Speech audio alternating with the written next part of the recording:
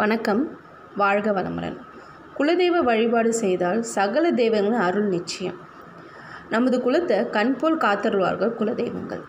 நம்முடைய வழக்கப்படி குலதெய்வத்துக்கு படையலிட்டு பிரார்த்தனைகள் செய்வோம். சகல பிரச்சனைகளிலிருந்தும் நிவாரணம் தருவார்கள்.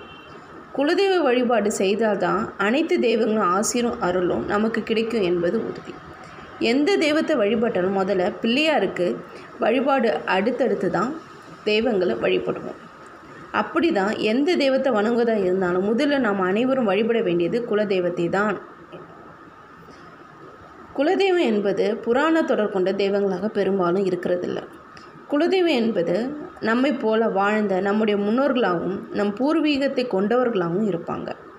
அவர்களையே நம்ம குலசாமியாக போற்றி வழிபட்டு வருவதை வழக்கமாக கொண்டிருக்கிறோம். குலதெய்வ கோயில்கள் பெரும்பாலும் கிராமத்தை சார்ந்ததாகவே இருக்கிறது.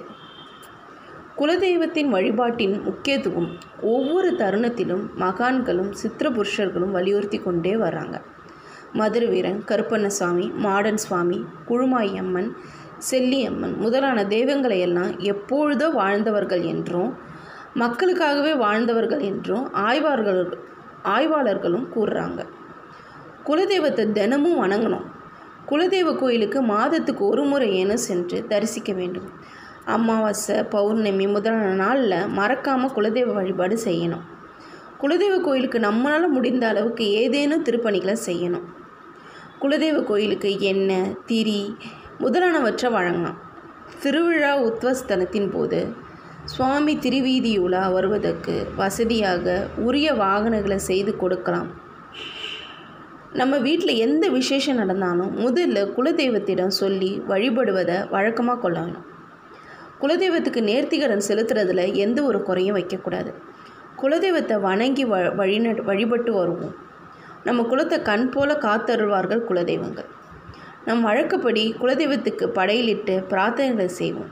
சகல பிரச்சனைகளிலிருந்தும் நிவாரணம் தந்தருள்வாங்க.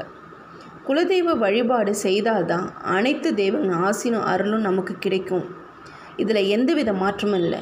பில்லி சூனியம் குடும்ப பிரச்சனைகள் தொழில் பிரச்சனைகள் புத்திர பாக்கியம் செல்வ செழிப்பு மற்றும் குடும்ப விருத்தி பெறும். ஆண்டுக்கு இருமுறை எனும் குலதெய்வ கோயிலுக்கு சென்று படையிலிட்டு வந்து உங்கள் வாழ்வின் உச்சத்தை அடைவீர்கள் என்பது உறுதி.